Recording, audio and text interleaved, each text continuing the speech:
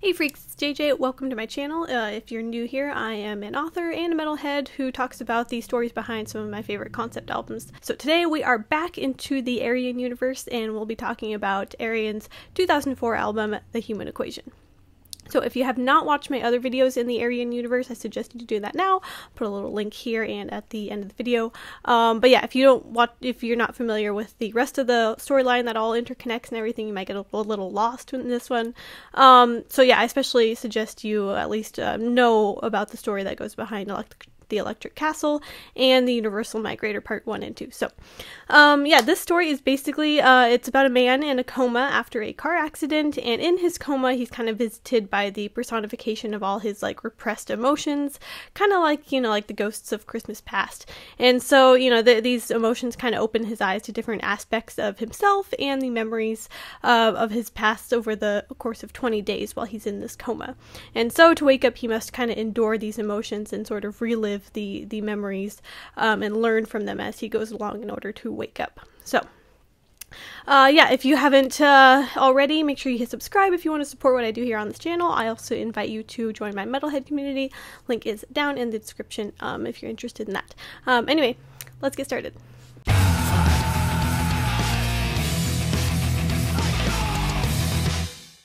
So we start with day one vigil, and so we have our protagonist. Um, our protagonist is just named Me um, in this in this story here, um, and Me is voiced by James LaBrie, of course, of Dream Theater. And so we have our character of Me in the hospital in a coma, and beside him is his wife and his best friend, and these two are trying to figure out what happened to him. Um, the wife implies that maybe you know she or the best friend possibly had something to do with his accident, um, but they really don't know what caused his accident. So that brings us to day two, isolation. And so me, uh, so our me character finds himself in this kind of strange limbo between like dead and alive, sort of like this purgatory um, that he exists in while he's in this coma. And he doesn't have any kind of like recollection of how he got there or what's happened. Um, he first meets a few of his emotions who have, you know, taken on these like humanoid forms in bodies inside this strange land. And so first he meets Fear, voiced by Michael Åkerfeldt of Opeth, of course, which is amazing. I love the cast that uh, uh, Ayreon has come up with for this album. But um, of course we have Michael, uh, who voices uh, Fear and who, you know, this fear character kind of tries to bring the me character down, while we also meet um, the the character of Reason, who helps lead him through the you know this labyrinthine land and kind of serves as you know his inner conscience throughout the this album we also meet passion as well as pride um, pride makes sure that our protagonist doesn't give up on this journey is always pushing pushing our protagonist to keep going um, and then we also have Love, who kind of just gently encourages our protagonist to um, keep going and to, you know, look within himself for strength. And so Me agrees to go with these strange beings and he begins this journey. Day three, pain. So Me meets um, another emotion named Agony, who kind of just berates our, our protagonist for being weak. Um, and, you know, of course, all these emotions are an aspect of Me himself, and so this is the part of himself that, you know, feels like he is weak and, and can't do anything good. And so uh, Agony tries to get me to give up and tells him, you know, that he's all alone and that he's not worthy of love. Um, but then we have Rage who steps in. Of course, Rage is voiced by Devin Townsend, and we see how Rage uh, takes over to kind of protect me. So this just kind of goes to show how Rage has become sort of like a defense mechanism to deal with pain. And so, you know, we have Rage like pushing um, Agony off to the side. So me makes this connection that you know his rage has has become kind of a defense mechanism for whenever he feels weak. And then we have the character of Love, just kind of helping him get through this hard realization and helping him through this this limbo land that he's in currently. We then move on to day four, mystery. And so we flash back to the hospital where the wife and the best friend are still sitting beside our protagonist as he lays there, you know, unresponsive in his coma. Um, and they're trying to puzzle out, you know, what this the cause was of his car accident. Like it was a clear day, no traffic. There's not any clear reason, you know, why he went off the road. Um, so this whole like not knowing is really what's what's tearing them apart. You know, and their minds kind of roll over and over, asking, you know, why this happened and whether or not he will ever wake. And while they're thinking through this, we, as the audience, kind of get uh, sort of a hint at the, you know, suspecting that these two characters might know uh, what the cause for his accident could have been, but they don't really want to face it yet. We then move on to day five voices. And so, back in the limbo realm with our character, me, um, he starts experiencing all these like disembodied voices that begin speaking to him from all around and you know telling telling me what what he has been through. They begin kind of recounting his his past experiences. And so pride doesn't want to trust these voices but love and reason want him to follow the voices and see what they might uncover. While at the same time the character of fear warns that if they blaze ahead that path could lead to death. So Me decides that he wants to push forward and go through this journey with the help of love and reason, um, as he thinks that the only way out of this realm is to confront these voices and move forward with the journey. Day six, childhood. Me is then taken back to his childhood, and uh, in this scene, we open with him, you know, kind of hiding away from his father. So fear and agony kind of make uh, me relive this this childhood of experience of uh, how his father would beat him and berate him and tell him how worthless he is, and how that contributed to who, who he is now as an adult. And so, um, you know, one day as a child, uh, his father just never ended up coming home. Um, but even though his father was now gone, um, as a child, me then continued to carry on the abuse and self hatred of himself, even within his father's absence, since that was kind of all he knew, you know, and he had really truly come to believe that he was worthless and didn't deserve anything more than what he got. So um, now once reliving this, our current version of our me character breaks down as he has to kind of relive these memories and revisit all these painful things in his past. Day seven, hope. So we are now back in the hospital, um, and the best friend is just sort of reminiscing, um, talking to Me's unconscious body as he just recounts how they used to get into all kinds of trouble when they were kids, and you know when they were younger, and how much fun that they would have together, and how much hope they had for what life would bring them when they were younger. And he just kind of begs me to come back to himself and to wake up. So me in his limbo realm hears his best friend speaking to him, um, and his best friend's words just kind of help give him the hope and the strength to carry on in this journey. Day 8 School. So, Fear then introduces me to a memory from his school days. And so, me had, you know, no friends and was constantly getting beat up at school when he was a kid. And so, Pride tries to convince him to, you know, get back at the bullies and make them pay. While Reason says, you know, repaying the violence with more violence won't solve any of his problems. So Min knows that he can't actually beat up these bullies. You know, they're way too big and there are too many of them. But he does see another kid in the hall. He looks weak and alone and he sort of resembles me himself. so me sees this kid would be a pretty easy target. And, you know, if he were to go beat him up, then maybe he could prove that he's, you know, he's not weak and he is not one to be walked all over and he can stop getting beat up. And so he uh, ends up beating up this this poor helpless kid. So this kind of starts a cycle of abusive and violent behavior that has just kind of perpetuated throughout Me's life. Day 9, Playground. So this is just an instrumental track, and I think it just kind of gives texture to the world and the kind of childhood memories that me is living through. We then get to Day 10, Memories. So we're halfway through the journey. Um, when we are back at the hospital, the wife and the best friend are, you know, obviously really devastated, and they're starting to grow kind of desperate. You know, they thought that uh, me would wake up by now, but the doctors don't really know what's wrong with him, they don't know why he hasn't woken up yet. And so they decide to kind of just take turns talking to me and recounting better better times to try and get him to wake up. So me is able to hear everything that they say, and love and passion encourage him to, you know, embrace these memories and, you know, use them to help guide him to where he needs to be at the end of his journey. Day 11, love. So Me is then taken back to the day he first met his wife. Um, that he was out at a bar and he saw her across the room, and it was pretty much just love at first sight. And so, you know, Me is really nervous, but he finally gathers the courage to go up and talk to her.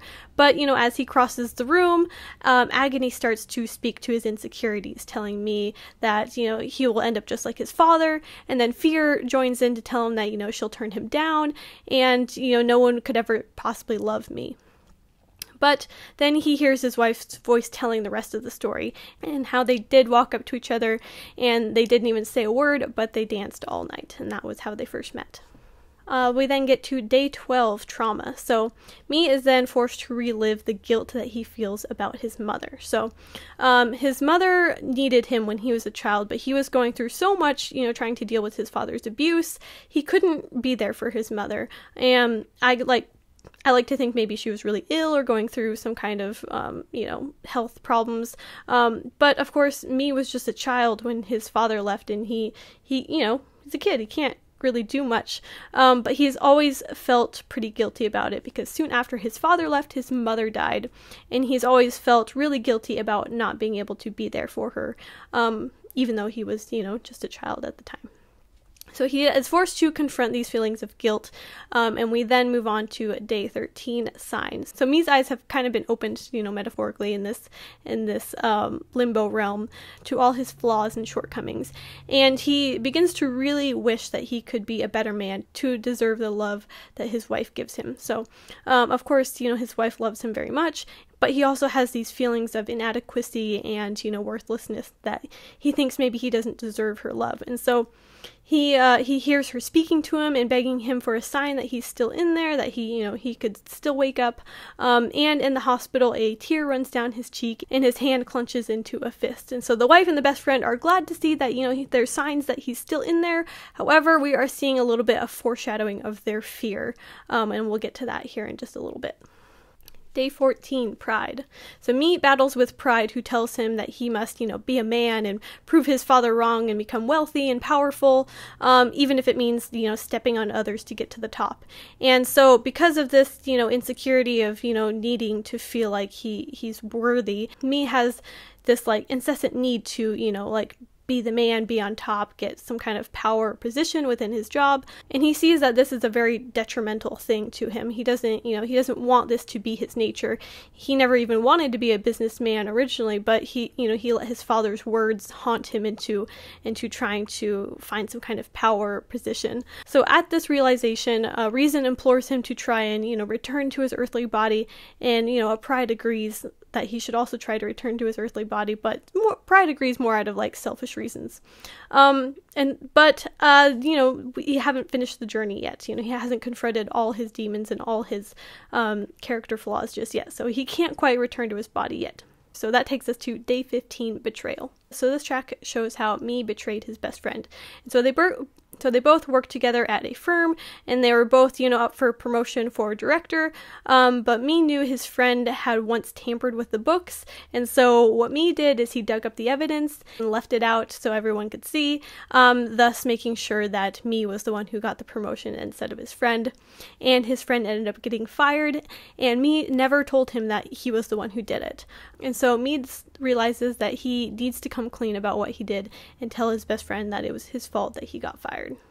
Day 16 Loser. This is this is a fun track um, because it's such a like a dark a dark track but it has these overlays of like really happy, you know, like folk music.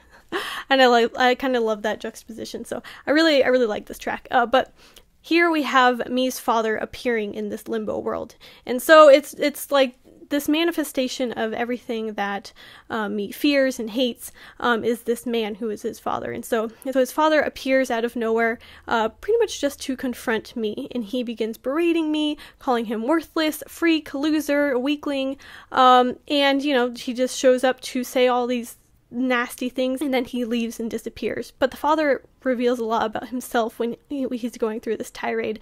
And we get to see how, you know, who the real loser is in this situation, which is, of course, the father and not me himself. We then get to day 17 accident. Here we finally get to see what happened in this accident and how Me ended up in the hospital. And so um, Me was driving home one day. He was really distraught on the and on the verge of a breakdown. This is because um, Me saw his wife smiling and hugging another man. Um, now it doesn't say who this man was, and it's possible that Me doesn't even know who it was. He might have saw, seen it from a distance, but it was still enough to make him go crazy with jealousy. Um, and so you know all these unresolved issues issues from his past catch up to him. And you know he's just really upset about you know he feels betrayed and like his wife doesn't love him anymore. And so he's driving and he just can't deal with all of these emotions all at once. And so he ends up yanking on the wheel as he's driving just to make it all stop Day 18 realization. So me realizes that, you know, after seeing what happened in the accident, he realizes that he tried to kill himself.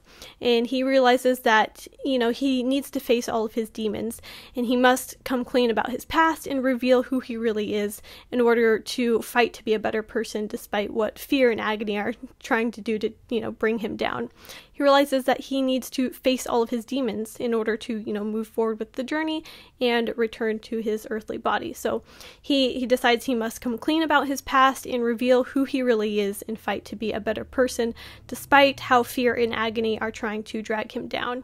And so he decides he must fight to return home and he becomes dedicated to doing just that.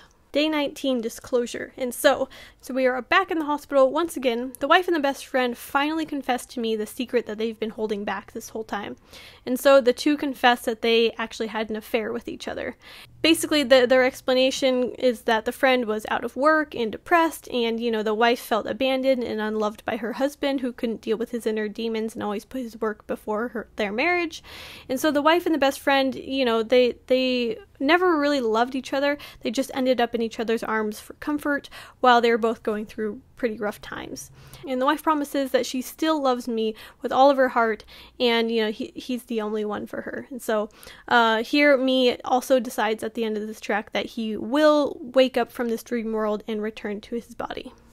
We then get to the 20th and final day confrontation. So, me, who is still in this limbo world, maybe half in, half out in some weird way, he somehow confronts his best friend and confesses you know that he was the one who got him fired and confesses to you know what he did and the friend says that well you know he's kind of always suspected that it was him um, and you know me asks if he'll ever forgive him and the friend says yes and you know in a way they're both kind of even now um, me then goes to his wife and professes, you know, he will be a better man. He's going to turn his life around. He's had the chance to deal with all his inner demons and all his, you know, past uh, trauma.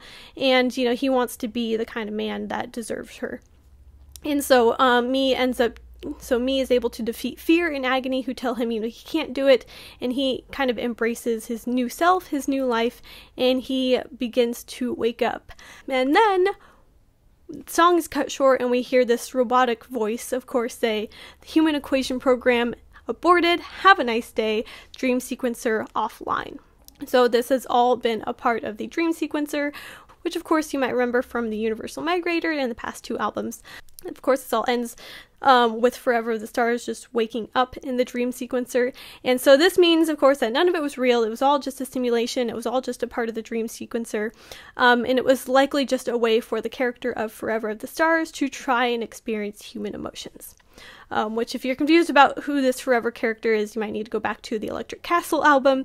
Basically, he is from a race of beings eons into the future whose, you know, all emotions have been bred out of them, and he wants to feel human emotions and experience them. So, uh, that was all just an experiment for him to get to feel human emotions, and um, yeah, just like a science experiment. So, but yeah, I thought this was a brilliantly done album, uh, storyline wise, because you know, of course, you you don't think that it's gonna end up having any kind of tie-ins with the rest of the universe. It doesn't seem like a you know crazy science fiction space opera, but at the end, of course, it is. So, um, yeah, this this album doesn't disappoint, and I'm curious to hear all of your guys' interpretations and thoughts on this story drop all of that down in the comments. I'm looking forward to covering more of the Ayreon universe here in the near future, so if you are really excited about more Ayreon stuff, please drop that in the comments as well so that I know to do those videos sooner rather than later. Also, let me know your favorite track on this album and your favorite um, guest vocalist on this album. There are some incredible ones. I'm a big fan of uh, Opeth, so I'm a big fan of Michael Åkerfeldt. Uh, so yeah, I thought it was awesome to have this him on this track, and I, you know, absolutely love his vocals, and I feel like it adds so much more depth to the character, and he's a perfect one to play the Fear character as his. I could. I'm. I'm getting off track here. Anyway, I could go on and on. Um, Anyway, thank you guys so much for watching. Again, feel free to subscribe and join my metalhead community. Link is down in the description. I'm also doing some like giveaways on my email list from my metalhead community the next couple months. So if you want to win free shit, then join my metalhead community. It's totally free. Um, anyway, thanks for watching, guys. Until next time.